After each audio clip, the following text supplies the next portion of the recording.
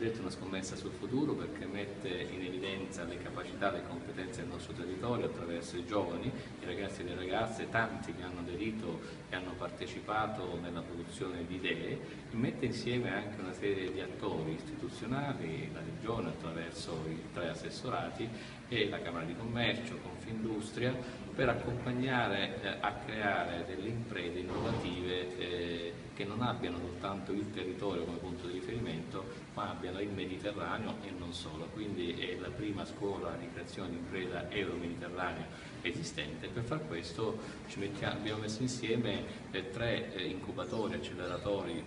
che sono tra i più importanti in Italia, eh, Rural Lab,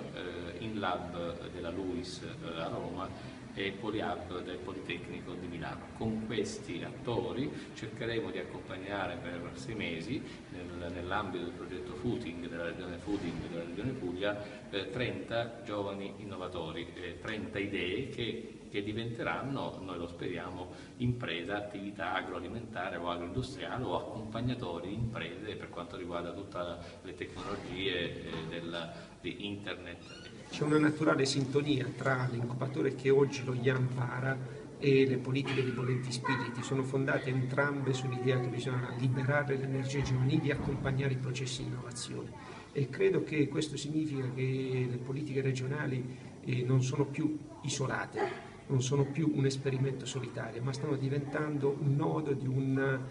eh, sistema dell'innovazione che sta coinvolgendo molte altre istituzioni del territorio, tra cui mi, mi piace sottolineare il lavoro pregevole, cruciale, decisivo che sta svolgendo lo IAM per accompagnare l'innovazione nella filiera dell'agroalimentare, di cui abbiamo tantissimo bisogno.